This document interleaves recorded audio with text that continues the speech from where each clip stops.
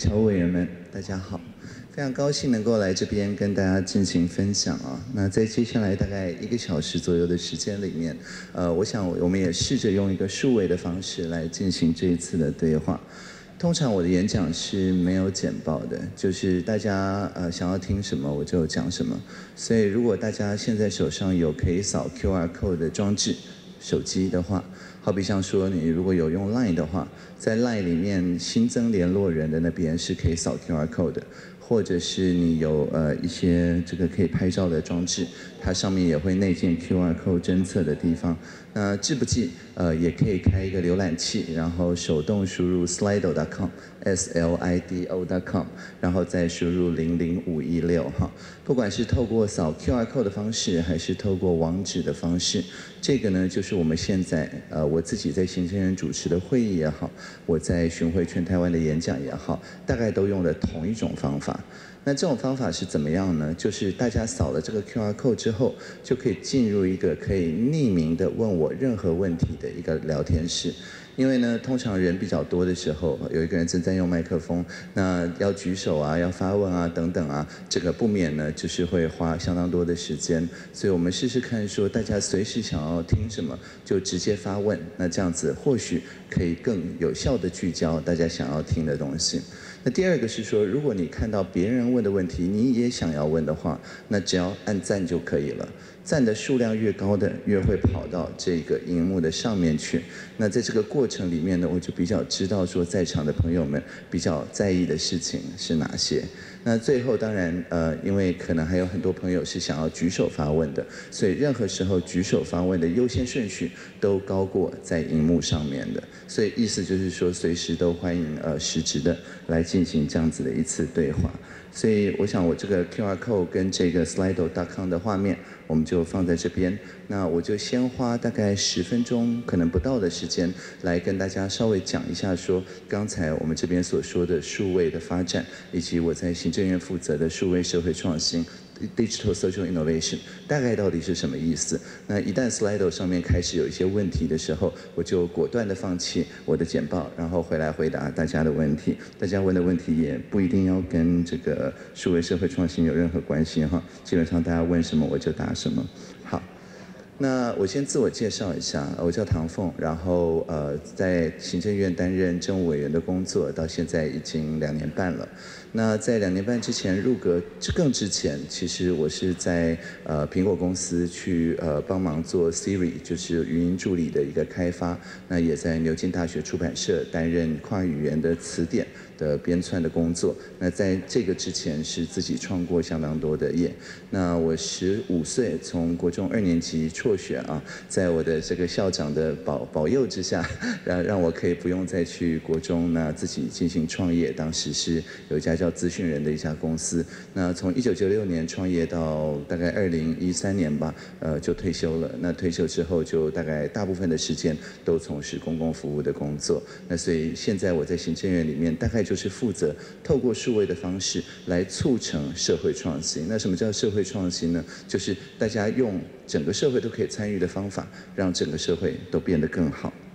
那当时呢，我在加入行政院的时候呢，跟当时的林权院长有约法三章，有三个工作条件。这三个工作条件呢，分别是：第一个，我在任何地方上班都算作是上班，就是所谓的 teleworking。那这个其实是台湾在二零一三年人事行政总处就通过的一个函，说任何公务员他的工作。跟网际网络有关的话，他在任何上班的时间跟空间都不受限制。只是知道这个的公务员不多了，敢跟老板这样用的就更少了。那但是这是我牢固协商条件嘛，所以我就可以在任何地方上班。所以这边呢是我最常在的一个办公室，它是在大家可能知道有个叫建国花市呃的旁边，是仁爱路三段九十九号，我们的社会创新实验中心。那这个中心相当特别，它本来是空军的总部，是非常刚硬的这样一个建筑。但是呢，我们在重新装潢它的时候，邀请了全台湾的上百个不同的做社会创新的团队一起去进行贡献。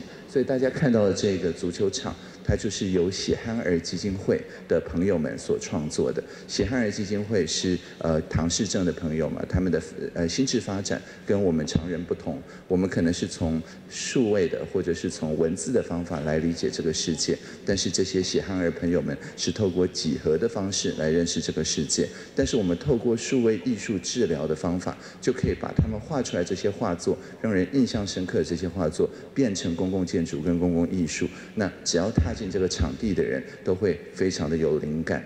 我在这边呢，每个礼拜三从早上十点到晚上十点都是我的 office hour。意思就是说，全台湾甚至全世界任何人都可以在线上去 book 我四十分钟的时间，然后直接在这边跟我就任何的主题进行对话。那我唯一的要求就是在这四十分钟的对话结束之后，我们一起编辑一个十天的逐字稿之后，把我们所有的对话记录都上网公开。所以这个叫 radical transparency，也是我入阁的第二个条件，就是我看到的一切。主持的每一场会议全部都对外公开，那这样有什么好处呢？就是每一个人都可以当政委。我们说数位政委不是只是数位，可能数十位、数百位啊、数千位政委，就是大家看到我的工作的记录之后，都可以直接的告诉我说，他觉得我哪里可以做得更好。我们在这样子一个社会创新实验中心里面，会不断的进行数位的实验。好比像说，我们在这边，呃，大家如果有空去看的话，就会看到一些三轮车啊。三轮车这些三轮车不是一般的三轮车，是自驾的三轮车 （autonomous driving）。就是说，你坐上去，只要告诉他你要去哪里，他就自动帮你开去那里的这种三轮车。那三轮车这个有两个特点，一个是说，虽然童谣里说三轮车跑得快啊，但是它跑的是很慢的，只比走路跑步快一点点而已。意思是什么呢？是它很安全，它撞到人啊，撞到建筑物大概都不会发生什么事情。它是在一个安全的环境之下，让大家习惯人工智慧怎么融入我们的生活。第二个特点是说它是开放的，开放的意思就是说它的硬体、它的软体、它的资料，任何人都可以要一份副本，而且任何人只要你会一点点电子。电路或者是软体工程都可以任意的去改做它，那这个也是我们台湾数位发展的一个特色，叫做以开放为优先 （Open by Default）。那意思就是说，每个人看到这个技术来的时候，他不会被。这些系数的设计者限制住要怎么运用这个科技。像有些朋友可能去过建国花市，建国花市呢，大家最常在建国花市做的就是买花嘛。但是呢，如果是一些长辈，他买了一些兰花，一些什么东西会越来越重。就算你提个手推车，到最后呢，也会觉得啊，这个太重了，逛不下去了，可能逛不到浴室就就结束了哈。那但是呢，我们在一起设计这个的时候，就发现说，这些车子可以很好的当长辈们的小帮手，就是它亦步亦趋的。跟在你旁边，你买了兰花就往上面放，放到快满了，他就再找一台来，然后你买到最后，你就骑上其中第一台，然后他就把你载回家了。像这样子的一种机器跟人共生，而不是说强迫社会去符合机器的这个逻辑，这个就是我们在台湾做数位社会创新最重要的概念，就是 inclusion，就是含容的一个概念。那也是因为这是开放的一个创作，所以很多人看到说，像我们第一代的这个车子啊，来这边的时候，他看到一个他难以判断的事情，他就会亮红灯。可是你不知道为什么他亮红灯，他也很难跟旁边沟通。但是没有关系，我们有很多北科大旁边的同学哈，他们就稍微拿个扳手改装一下，哎，他突然就从一个眼睛变成了两个眼睛，两个眼睛呢，他还会看着这个路人啊什么，然后还会眨眼，还会有各种各样子非语言的表情的讯息。也就是说，这是一个互相驯化的功能。我们透过这样子互相驯化的过程，来了解到说这种新的物种吧，在融入这个社会的时候，在这种低速慢速不会造成危险的情况下，到底大家对它的期待是什么？我们的叫做 social norm 是什么？那在台湾，我们社会发展的特性就是，我们先有这样子社会的长模，好比像说他在让路的时候，在台湾要先让老先生、老太太，然后呢，再让这个身心障碍者可能坐。轮椅的朋友，然后再让可能怀孕的这个妇女，然后最后才是让小孩子，就是按照老弱妇孺的这样子一个程序哈，这个就是我们实验出来的一个结果。但是在这辆车子它本来发明的就是麻省理工学院在波士顿的时候，这刚好是相反的，他们觉得那边觉得应该要先让小孩子，所以在不同的地方会有不同的社会常规，而这个就是我们透过互相一起这个实验来达到的一个结果。那这边我就想要 quote 一下我们蔡英文总统他在就职典礼的时候说的一句话，嗯，大概快三年前，他说，在以前台湾大家想到民主，就是想到两个价值之间的对决。那但是呢，我们从现在开始想到民主，我们要把它变成不同价值中间的对话。那这个呢，就是我们现在透过数位的治理方式，想要达到的一个新的治理模式。在以前，大家都觉得好像政府啊，就是可能一个部长，可能经济部长是左边那个省级啊，可能环保署署长是右边另外一个。在社会上有各种不同的势力嘛，透过政治的程序，透过代议的程序在这边角力。那我们专业的文官可能就是很可怜中间的那个绳子，就是外面都看不到，但是要承受全部的压力啊。那但是这样子的事情，当呃，在新时代来临的时候呢，就出现了两个困难。一个是说，其实我们不需要绳结，不需要组织者，不需要立委，不需要政委，不需要部长。其实民间随时自己想到一个什么主意，在 Facebook、在 PTT 上面，只要一发起一个运动，哎。五十万人就上街头了，所以意思就是他不需要等到政府来组织，民间自己就可以组织了。那第二个就是说，这些新的议题太多了。刚刚我只举了自驾车跟人工智慧这个议题而已，但是还有很多别的啊，区块链啊、远距医疗啊、平台经济啊，所有这些东西。我们如果新的一个题目来，我们就要赶快再设立一个部会。那这样子的话，我想我们中央总员额法可能要改一下，要变成十倍的员额了哈。事实上是不可能的。所以这样子的情况下，我们传统的制理模式就是组织并且仲裁的这个治理模式，可以说是已经过期了。所以我们现在在试的是一种新的治理模式。我们问的不再是说怎么样把人组织起来，以及怎么样去进行仲裁。我们问的是说，我们怎么样创造一个空间，在这个空间里面，每个人都可以有不同的立场，每个人都可以有不同的利益诉求，这都很好。但是我们在这个空间里面想办法，透过累积的方式，找到大家共同的价值。然后找到共同价值之后，我们就问说：哎，有没有一些创新的方法可以去满足这些价值，而且不要牺牲掉任何人？我们只要不断的问这两个问题，就是有没有共同的价值，以及有没有创新的方法达成这个价值，不要牺牲掉任何人，大概就可以去完成刚刚这样子一种新的治理模式。那因为我答应说我讲个十分钟就要回来看一下 slide 啊，所以我们来看一下网友们有没有什么想要我想要我讨论的话题。那有一位朋友们问说哈，这个为什么会场的 WiFi 的这个讯号这么差？那这个果然是一个程序问题，程序问题果然是要先解决啊。那呃，在台湾的一个特色了，就是说我们在这边其实都已经很习惯不用会场的 WiFi，而用自己手机的吃到饱。因为台湾呢非常的特别，就是你用四 G 的网络，在台湾任何一个地方有十 Megabit bps，就是有非常高的这个频宽呢，都只要新台币四百九十九块钱，也就是不到二十欧元，不到二十美元每个月。所以因为大家都被惯坏了，就是在每个地方都有这种几乎是免费的宽频网络，所以呢会场的 WiFi 差呢一下就没有人注意到。那不过呢这个还是我们这个场地的舒适，所以如果大家这个现在没有办法连上 Slido 的话，那就欢迎尽量举手提问。那然后下一次我们在这个场地的时候，就会注意到这件事情了。那。又有一位朋友们，这个提出另外一个程序的动议说，呃，我的声音太小了，很难专心。那对，那而且我我什么都没有做啊，可能音控刚刚就已经把声音调大了。所以这个也是告诉我们说，有及时的回应，而不是说我讲个一小时之后，哎，大家才因为不好意思举手提出这件事情嘛。呃，这样子的话，这个公共决策的品质也可以提高。所以这告诉我们说，如果我们只等两年或者只等四年，然后再投一次票，然后告诉执政者说自己他哪里做的比较不好的话，那这样社会进步的速度就比较慢。但是如果像这样子，哎，过了五分钟、十分钟，哎，我马上就看到说，哎，音量的太小了，那根本不等我做什么，音控那边就已经把这个问题解决了。所以这同样也是告诉我们，continuous democracy 就是随时都有议程设定的权利，这个是非常非常重要的。那所以音量就已经提高了，这位的诉求我们已经参采了，所以我们就又回到一个呃没有更多的问题的情况。好，那所以请大家继续踊跃提问啊，然后或者举手发问，那不然我就继续用我的别的简报继续讲下去了。那我们在刚刚讲到，就是数位治理会有很多新的事情发生。这些新的事情，它不会等到四年一次的时候才让投票的方式来让我们知道。而很多的立委也好，我们的中央官员也好，对这些新的事情，像无人车，其实是没有第一手经验的。要我们用没有第一手经验的这个情况去进行治理，其实是非常困难的。所以呢，我们在台湾在最近两年推行了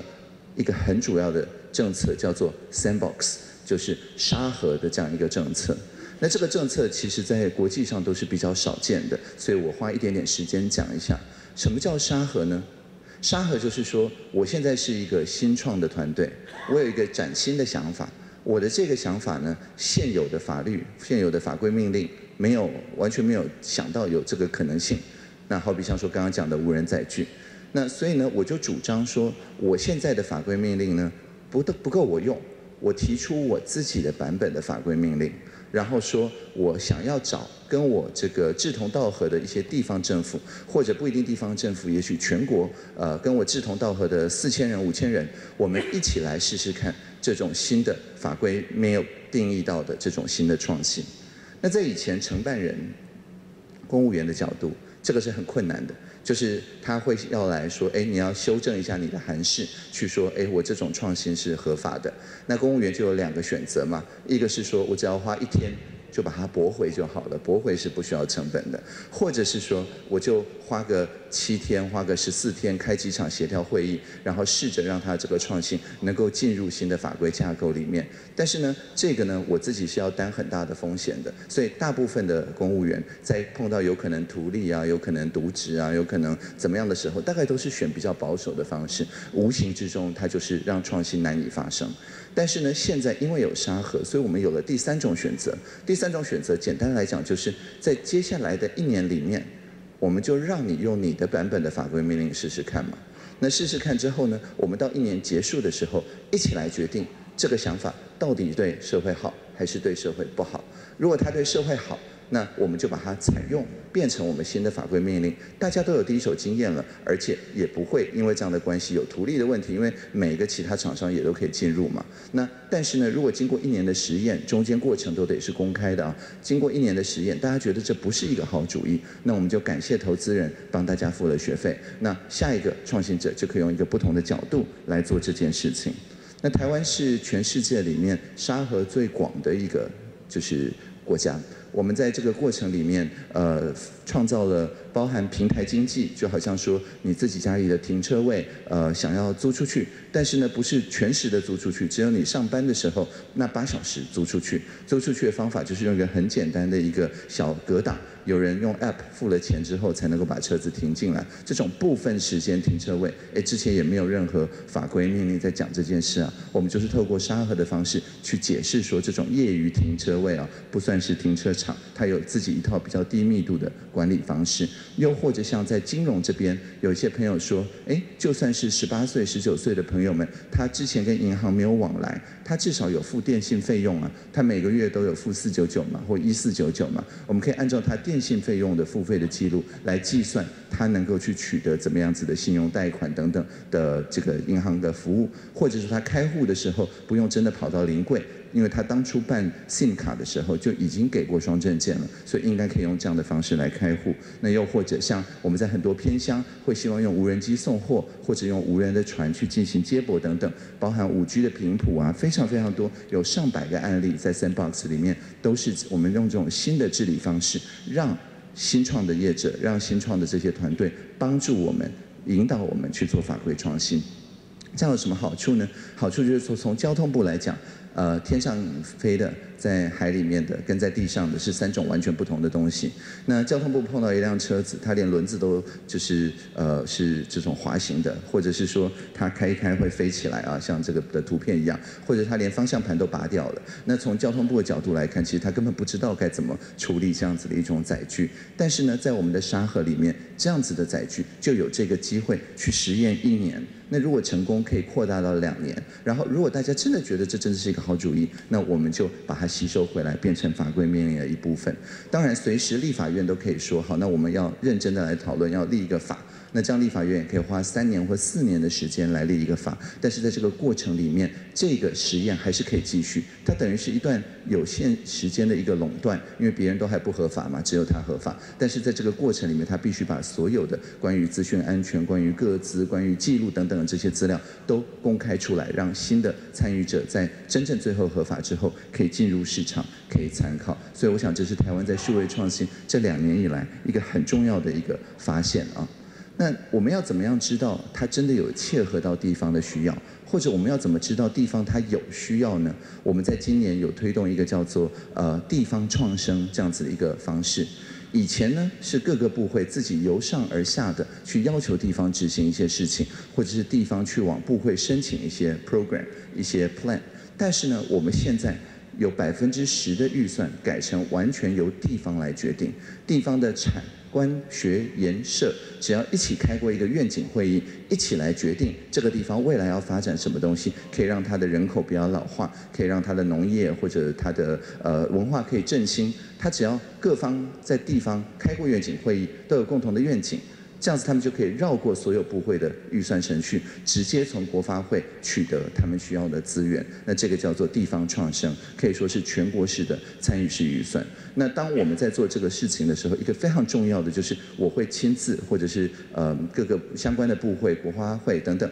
会亲自到那个地方跟他们去开这样子的一种协同工作的愿景形成的一种会议。那台湾的好处，刚才已经讲了，就是在台湾的每一个角落都有宽频网络，所以我不管去呃南投集集去。台东去离岛，甚至东沙，好，我还没有去东沙了。但是就是任何地方，它都有刚刚讲的 ten megabit per second，足以支持高品质视讯的频宽。因为在台湾，我们是实践一个叫做宽频人权 （broadband as human right）。我们在世界上很多其他国家只有 internet as human right，就是大家要连得上网络，速度不论。但是在台湾，我们必须要用宽频来连上网络，这个是基本人权。所以在任何地方，如果你没有 ten megabit per second，那就是我的错，是可以来找我的。所以在这个过程里面，我们在巡回台湾每个地方的时候，就不是只是我一个人跟当地的 NPO 啊、合作社啊，或者是社会企业啊进行座谈。在台北，就是刚刚讲的社会创新实验中心，有十二个不同的部会一起在台北一起进行讨论。所以就好像说，我们这边有一个大会堂，但是透过一个非常大的投影机，我们可以连到呃澎湖，可以连到金门，可以连到各种各样子的偏乡的地方，而且我们会确保说大家见面三分情嘛，就是说呃隔着网络见面可能也有个两分情了，就是任何地方抛出来的问题。在以前呢，你送到内政部，内政部就说哦，我要会经济部，我要会卫福部，我要会什么什么部会。每次会的时候都只是一张 A4 纸啊，上面写一些很抽象的公文跟数字。那会了三次之后，已经没有人记得本来那个地方问题到底是什么了。但是现在呢，就不是这样子。现在呢，当内政部接到这颗球的时候，他就不能说哦，我要会经济部，因为经济部就坐在他旁边。所以意思就是说，他们就必须要当场。就用 brainstorming，就是呃脑力激荡的方法，找出一些让地方的需求能够满足的方法，让地方的愿景能够接轨到整个国家的政策来。所以，因此我们也很鼓励中央的公务员实际回到他的家乡去进行工作。他还是中央的公务员，他透过远距的上班，但是他就可以把中央的政策跟在地实际的需求去把它接在一起。那每一次有这种新的发明、新的创作，呃，甚至无人载具。出现的时候，我们就会在这样子一个地方，不管你是做循环经济，你是做绿能，你是做自无人载具等等，我们就会有越来越多这样子一种公开展示的场域，就好像大家去逛六福村动物园一样，就是你只要呃搭个高铁，然后去沙轮，你就可以一下子看到即将要融入社会的这些。实验这些无人载具等等的这些东西，它怎么样子去跟人实际的互动，让大家都在有第一手经验的情况下去产生出这个社会的一个现就是现况的回应啊。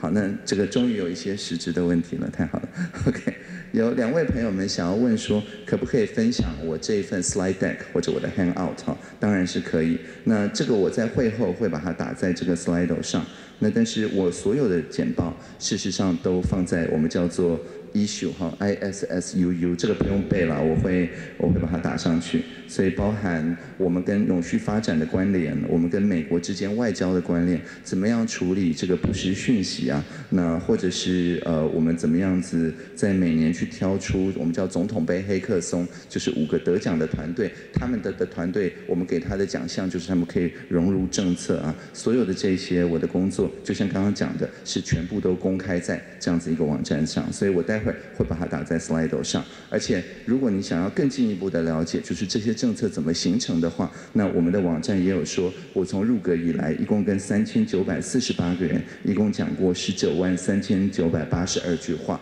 那所以所有的就是从我开始当数位政委的第一天，到现在的所有的会议啊，全部都是不是只有会议记录公开而已啊，是有点像是你带个 VR 虚拟实境一样，就是可以逐字逐句的。知道说我们在行政院里面开的每一场会，每一个人讲的每一句话，所有的流程都是具细民意的公开在这边，所以我之后会把它补充到 slide 上。那又有一位朋友，这个有一个程序动议啊，说我可不可以在接下来的三十分钟里面稍微讲慢一点，呃，以利听众理解吸收，这没有问题。所以虽然我讲字的速度可能没有办法减慢。但是我可以在逗号的地方稍微多停一下，好。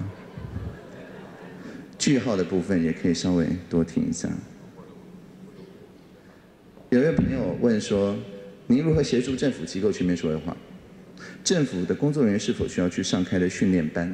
如果有开班的话，非常好的问题。我们在我们的政府的训练架构里面，我们分成人事行政总处所开的。”就是呃，终身教育的一些就是文官的训练班，我们的文官学院，还有如果是外交或侨务的话，外交学院也都有开班。那其实在我入阁之前，我就已经呃是这这些班的这个常规的一个讲师。我还记得我在二零一四年底第一次开班的时候，当时是所有全台湾十二职等的朋友们，一共三百个人，分成三批。进行这样子数位治理的讨论，那所以这三百位朋友等于是我们的种子。那在这三百位朋友之后，我就很呃有系统的是一职等、十职等，然后再训练一些种子的这些呃这个教师，然后对九职等呃从这个兼任升到兼任。委任升到兼任，我们都有相应的课程的规划，所以大家今天所听的只是一个概览，但是我们按照不同的职等跟职级，都有如何把数位的治理融入到他们的工作里面的这样子一些课程的规划，所以这些课程其实也都在网络上，如果感兴趣的话，我待会儿也都可以把它呃放到 slide 上。那有另外一位。这个朋友又有一个情绪，这个程序动议说可以再讲慢一点点，好，那我就再讲慢一点点了，好，OK，好，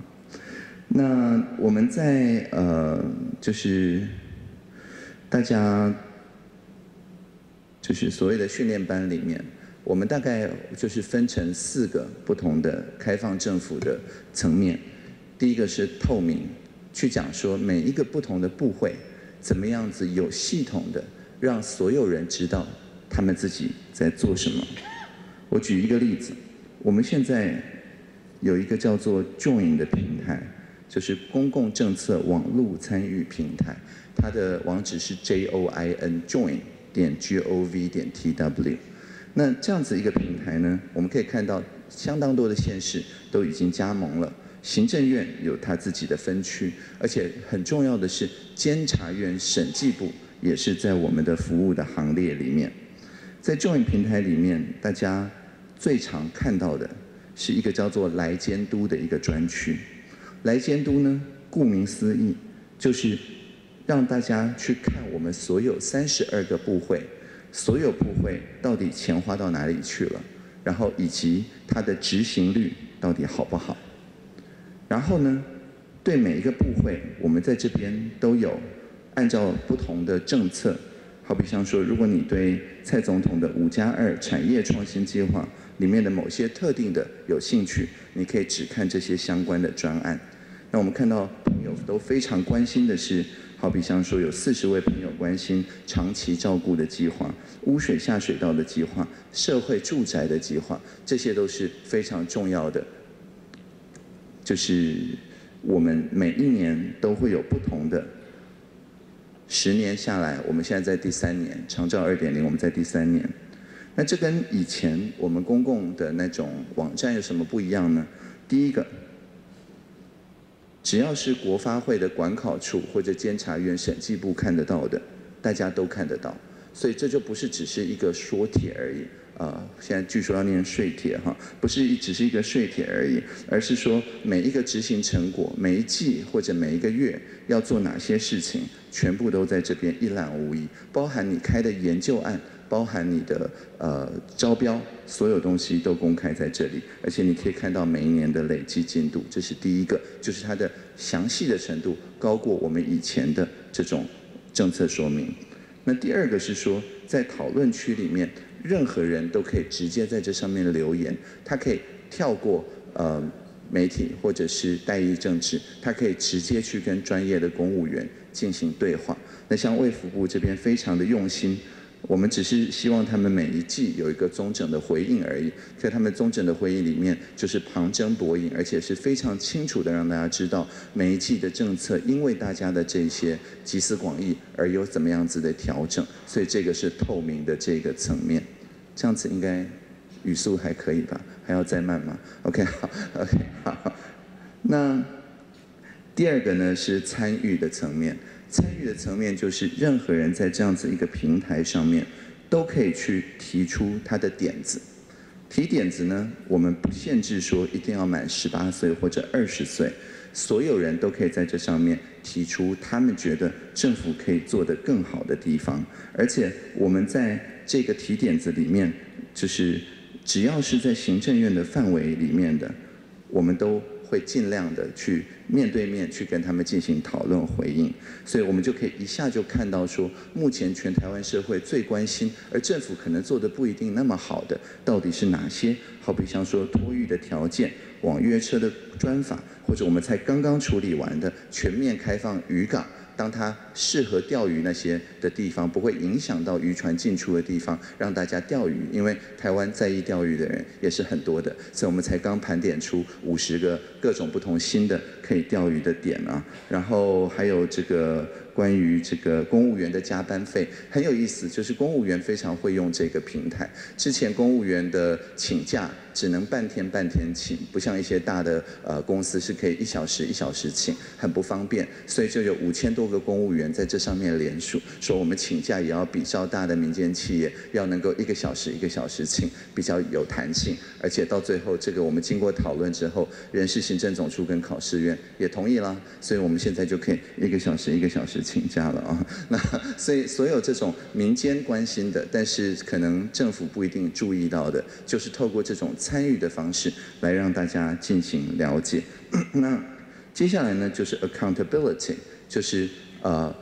我们现在叫做给得出交代哈，这个字非常在中文很难翻，有人翻成当责，有人翻成克责，有人翻成问责，但是我现在通常都直接翻成给得出一个交代。为什么呢？是因为大家提出这些主意之后，最怕的就是被摸摸头就算了嘛，没有变成实际的政策。所以我们对内要给出交代，就是每一个部会现在都有一群人叫开放政府联络人，负责把这些好的民意化为具体的政策。我们对外也要给出交代，就是当我们决定把它化为政策之后，当年联署的那些人，我们要邀进。厨房里面，这个我们有一句话说，会炒的不是有糖吃，会炒的是邀进厨房一起做糖吃哈，一起炒糖吃，就是从口部的炒了变成火部的炒。那这样子呢的好处就是，其实他们一开始很吵，可能真的并不是因为反对我们的执政，而是看了这些之后呢，他真的有一些想法。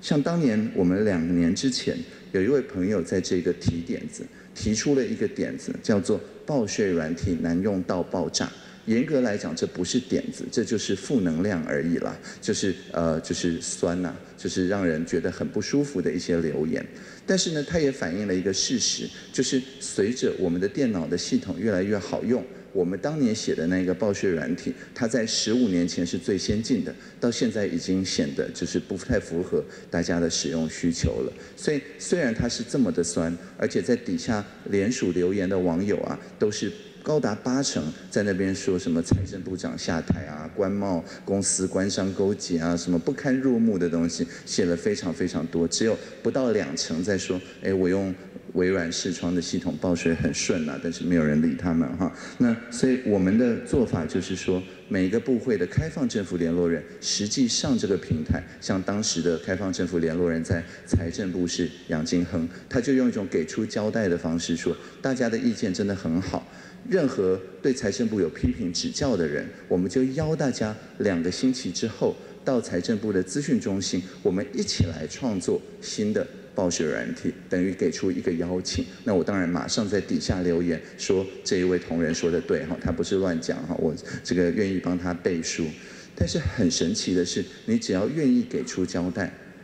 突然之间网络上的风向就逆转。高达八成的朋友都非常愿意来提供建设性的意见，只有不到两成还在讲财政部长下台，已经没有人理他们了。所以意思就是说，大家吵并不是要糖吃，大家吵只是要一个进厨房的机会。那当然，这位联署人最后也出现了，我们也见到面了。他是一位专业的互动设计师。设计师我们都知道嘛，就是你看到他看到字稍微大一点、小一点，斜体偏一点，这个呃空白间距少一点，他就会浑身不对劲的这些朋友，这所谓谁在乎谁痛苦嘛。那所以他是很在乎，所以他就很痛苦。所以我们就让他这个痛苦变成一个集结的能力。我们在透过直播，也是透过 Slido 这样的方式，去让全台湾关心报税软体的人的意见全部都汇集起来。最后我们怎么给出一个交代呢？我们是采取我们叫做服务设计的使用者旅程，就好像是你去旅行一样。旅行你有出发前你要做一些准备，这就好像报税前要做一些准备。旅行你有在旅行的过程里面走马看花，觉得很开心。呃，报税大概不会很开心了，但是无论如何，就是在报税的过程里要经过一些关卡。然后呢，还有在这个之后你的就是感觉啊、反应啊、使用者的行动需求等等。那在这里面，我们给出交代的一个方法，就是说，任何人他只要提出有建设性的意见。就算五百人有相同的意见，我们这边也是一张便利贴，把它收纳进这个地图来。但是呢，我们就是教导公务朋友说，你千万不要去和谐掉网友的留言。公务的同仁呢，脑里都有一个自动的翻译机，当他看到“自爆多”三个字的时候，他会自动把它写下，写成文字稍显冗赘。可能是怕长官高血压啊，或者是之类的哈，这个是一个内建的一个训练。但是我们在当时就是告诉大家说，你如果要 accountable 的话，大家写字报多，你就要贴字报多，你只能把惊叹号拿掉，你不能把字拿掉。有人写华丽到让人迷惘，你就是要贴华丽到让人迷惘。甚至当时我们报税的时候，会有一个呃小娃娃跳出来说感谢你对国家的贡献，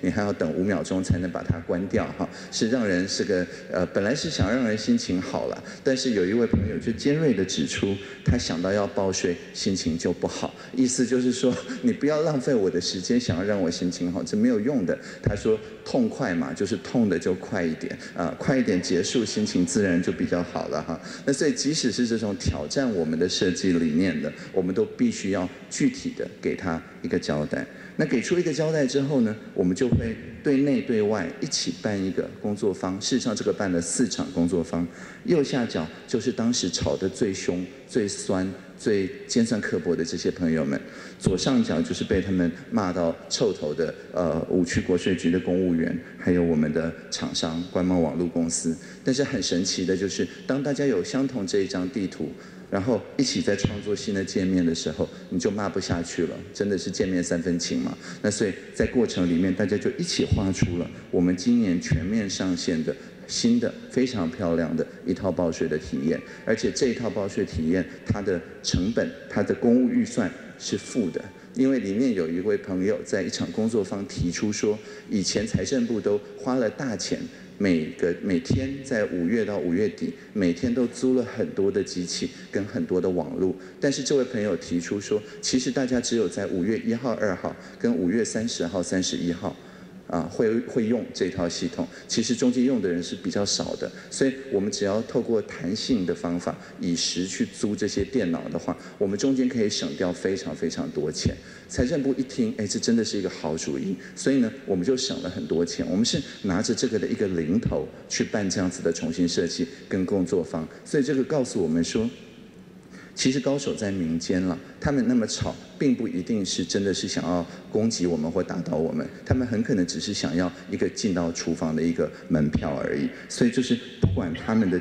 呃，技能是什么？不管他们的能力是什么，我们都要让他们有进入决策的这个空间。那这个叫做 inclusion 哈。所以这些加在一起，就是我们达到互相信任、数位的治理。最重要的就是，我们透过网络，不是取代掉人跟人之间彼此的见面，而是我们有新的一个空间，让大家都只能加上去，而不能把别人的意见拿下来。所以这个大概是对这位朋友的回应。那我们在各个级。就是层级的公务机关，大概都是用这样子的方式去进行一个呃教程啊。然后有一位朋友现在这个就是风向逆转了哈，说听我的演讲相当享受啊，非常感谢这一位朋友。好，那 OK，所以这个肯参采大家的意见还是很重要的。嗯，有一位朋友问说，好，那我这些东西很棒，那一般的民众要如何得知？非常好的一个问题。我们在呃公共政策网络参与平台，目前大概有五百万人左右曾经来用过。那以台湾两千三百万人，这是已经是一个很高的数字，就大概四分之一。但是另外四分之三，到底要怎么知道有这件事情呢？我们目前有两个方法。第一个。我自己在商业周刊有一个专栏了，那在商业周刊会看的人，毕竟还是不是绝大多数嘛，所以呃，我们这应该可以讲，明天就会跟苹果日报呃可能会有一个也另外一个专栏的一个合约，那这个合约之后，我每个月就会有两次。把我们开放政府的这些成绩，不管是在渔港现在可以钓鱼啦，公务人员这个可以用一小时来请假了啊，报税软体终于好一点啦，未来健保卡可能甚至可以装到手机里，你就不会掉健保卡，卡你用手机感应就可以去看诊了。所以我们这些开放政府做出来的成绩，每个礼拜啊每两个礼拜一次就会透过呃苹果日报的专栏跟大家去报告。那当然这个专栏是没有收稿费的，所以也没有兼职的问题啊。那但是在这个过程里面，我们会希望更多的朋友们能够从纸本，能够从大家可能平常没有上网的习惯的朋友，也了解到说，其实这不是只是会上网的人的事情而已。所以这是第一个。那第二个是说，我们现在融入我们新的十二年国民教育即将上入的这个。课纲里面，以后呢，呃，从今年开始，国小、国中。高中一年级的学生都会用这种新的素养导向的课纲来上课，所以我们这一套已经写进公民课本里面了。我们最呃热烈的两个最近的公投，呃，一个叫公投，然后一个叫做那个禁止塑胶吸管，这两个提案，当时在联署平台上都是十五岁的小朋友提出来的联署案，他们很成功的动员了五千多人。我们事实上在平台上面有做一个问卷，这个问卷呢是说。多少人会花最多的时间在这上面？我们就发现是一个 M 的曲线，就是十五岁上下跟六十五岁上下会花最多的时间在这个平台上。后来我们想一想也很有道理，因为这两群人。最有时间嘛，最不用去想工作的事情哈。那其他人都还要这个为这个生计奔波嘛。十五岁跟六十五岁大概都已经时间很多了啦。所以就是这两群人变成我们在这个开放政府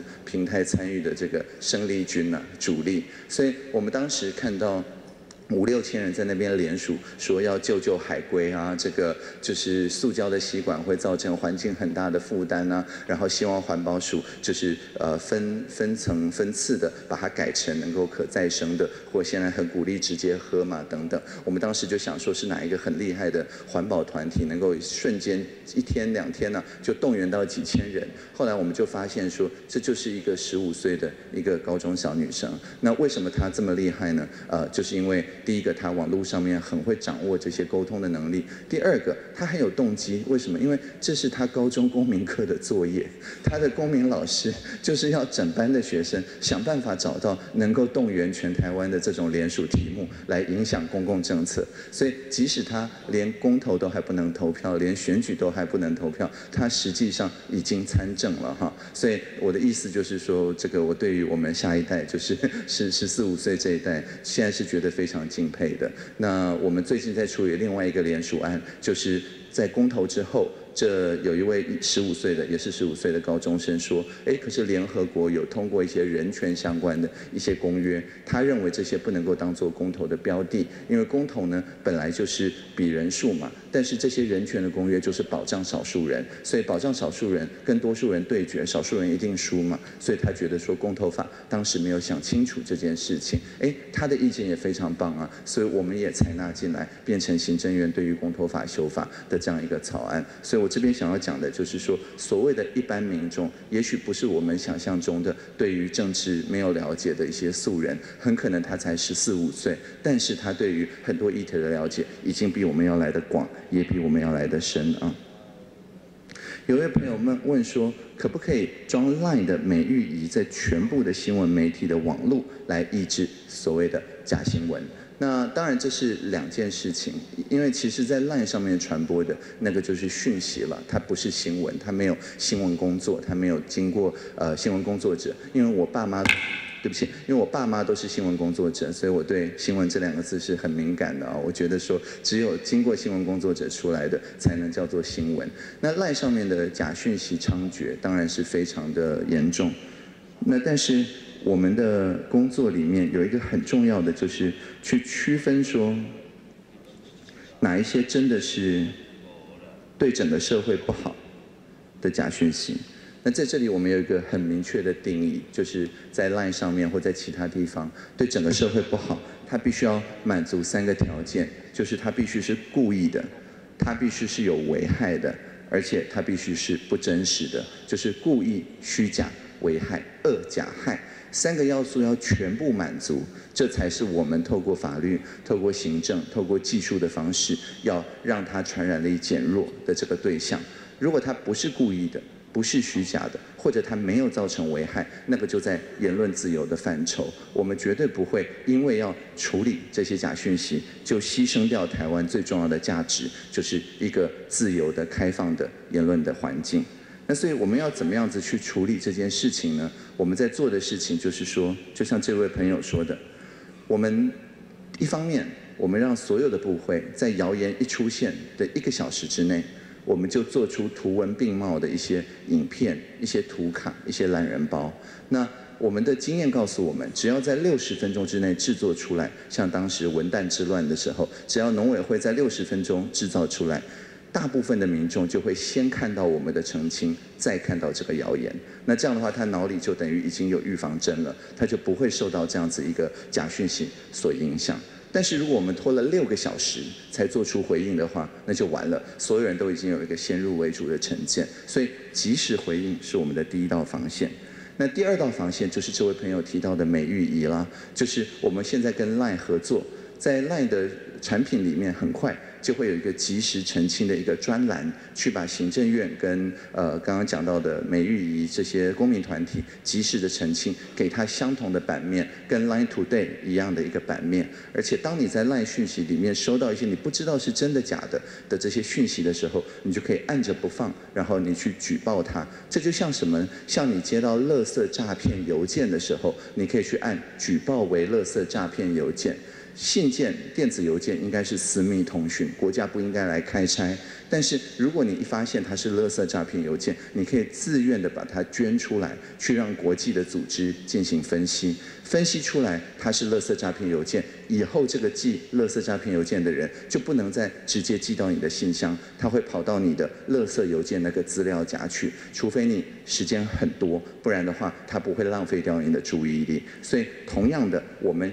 也会去做这样子的一个更改，就是如果大家查证之后，第三方查证之后发现是错误的，那在 Facebook 像脸书上面，他就会说那。这样子分享出来的讯息，他就不会碰到那么多的人，除非你只有一个 Facebook 的朋友，那他还是会显示这个讯息了。只要你有别的朋友，Facebook 就会显示别的朋友的讯息，这个讯息它的传染力就会减弱。而且当你去看到这个讯息的时候，它还会加上一行警语，说这个已经查证是不实的或有争执的讯息，请按这边来了解更多。所以这样子我们是助长大家的免疫力，而不是用一个比较粗暴的方式，好像是说啊不准特定的人或者不准特定的关键字，我们是不会去做关键字审查的，跟旁边的一些关辖领域不太一样。那第第三个呢，就是在选举的时候，我们这个呢就是非常重要，因为它如果影响了选举，它可以影响非常多。所以我们也观察到，因为台湾的政治现金的法案是全世界最透明的之一，每一笔都必须要用机器可以读的方法去公开给全社会知道，所以。大家就发现境外的一些资金呢，他们就不会走政治现金，他们就会跑去买广告，甚至在 Facebook 上面买那种精准投放的广告。这个是全世界都碰到的一个问题。所以我们现在在立法院已经有一个修法的草案，即将要三读了。就是说，在选举期间，任何想要让人当选或不当选的广告，我们都要把它当成政治现金的规范的密度。意思就是，只有本国人可以去下这个广告。每一手公关公司携手等等，都必须像洗钱防治一样去揭露他的钱是哪里来的。如果是有境外的，包含这个陆港澳的话，那这个呢，事实上是有刑罚的。所以这件事情是确保说我们的选举的公平性，不会让人透过打广告的方式去好像绕过政治现金法，变相的去助长特定的让人当选或者不当选的这样一个主张。所以我们是透过以上这些方法来，就是让假讯息不会影响我们的民主的这个进程啊。因为我剩一分钟，所以就只能快问快答了啊。呃，软体的这个逐字记录，我们目前有跟台湾一个叫 AI Lab 合作。他是祝杜义锦老师所创的一个非盈利的团体，那他有做一个软体叫做雅婷逐字稿，雅婷就是最常见的雅婷的名字的这个雅婷。那我们目前有跟他合作，那如果有一些呃就是大家讲太快的，或者是同事太多人讲的，我们也有一个专业的速录师，一分钟可以达到三百字的来帮忙做记录。那刚好他的名字也叫雅婷哈，所以是就是有人的部分也有 AI 的部分。那很谢谢大家提醒我要配。配合现场的这个呃语速哈，那政府的效率，我们每年都有去追踪，就是大家透过这种呃直接民主或者直接参政的方法，但是我们量的是大家对于公共政策了解的程度，我们量的是大家对于政府的决策理解的程度，以及大家互相信任的程度。为什么我们要挑这些直性的，而不是去讲效率呢？因为其实你全部压过去，不要听人民讲什么是最有效率了。但是我想，我们民主的价值就是在不牺牲效率的前提底下，去深化每一个人对于治理的了解。所以这是为什么我们挑这个 KPI。当然我也不一定是对的，所以也很欢迎这位朋友继续呃提出，也许我们也可以量测别的东西哈。那侨委会的执行率，呃，大家可以自己上中影平台去看，然后也可以看一下侨委会大概执行了哪些预算啊。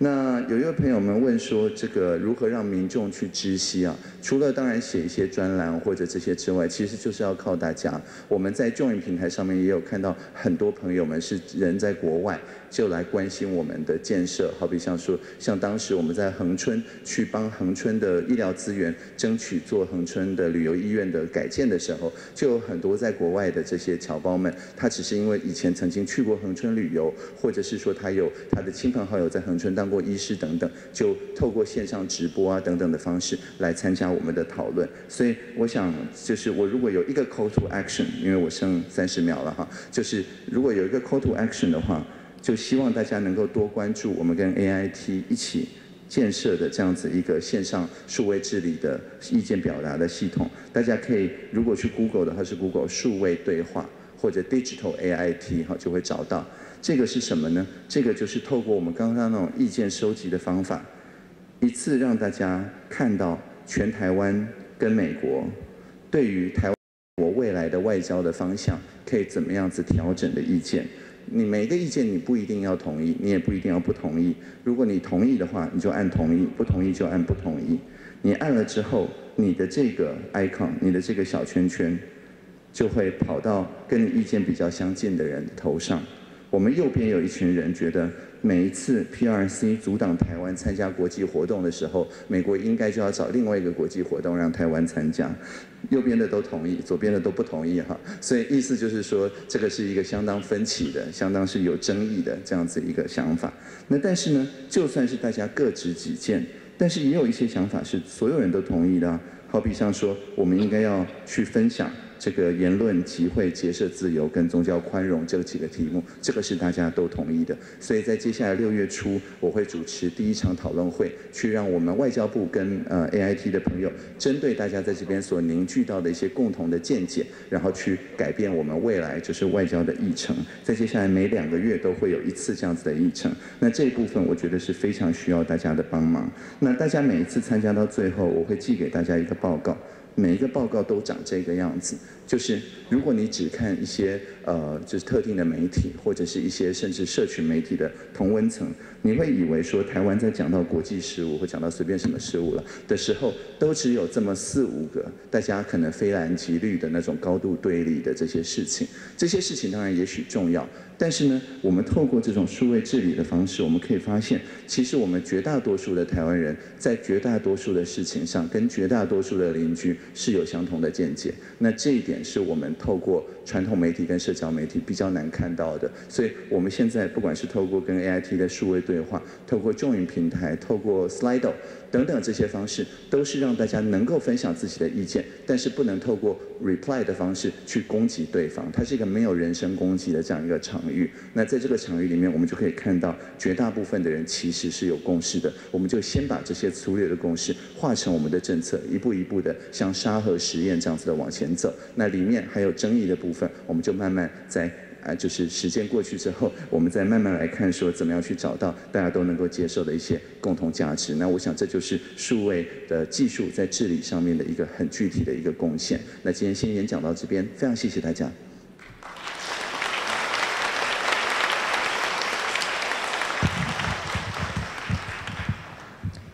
接下来请主席总结。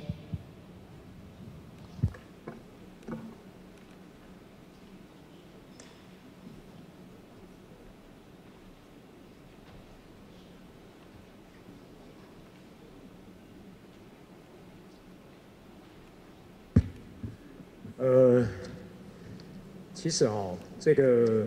我都不知道怎么介绍我们这个唐唐政委哈，哎，所以刚开始在介绍的时候啊，我本来有一张稿，我念到一半以后，我发现我念不下去了哈，因为还是要由他自己透过他的他整个一个分享，整个报告让大家认识啊这个唐政委哈，呃，其实对这样的一个奇才啊，数位的奇才啊，而且我以前就看过他的。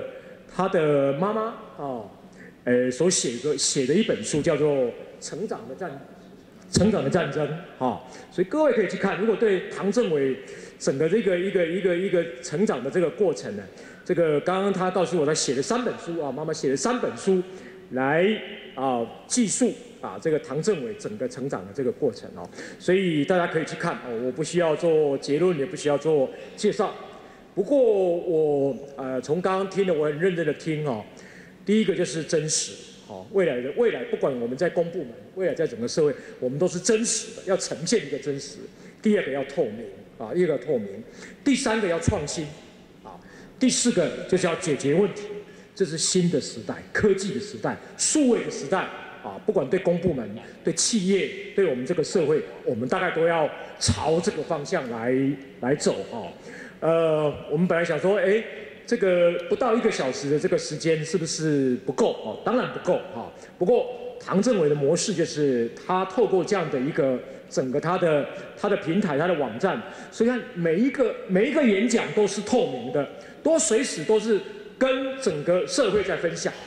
所以各位也是一样，今天大家认识了解了以后，我相信各位一定有非常多的这个兴趣啊，所以呢，一样可以上这个这个这个平台啊，这个平台，然后可以继续追踪我们唐政委在数位工作的努力啊。最近 WHA 在开会的事情，我们台湾面临很多的困境。事实上，像联合国这样的一个机构，我们唐政委在之前，他其实透过他的数位的分享。他事实上他已经参与了联合国的这个整个活动，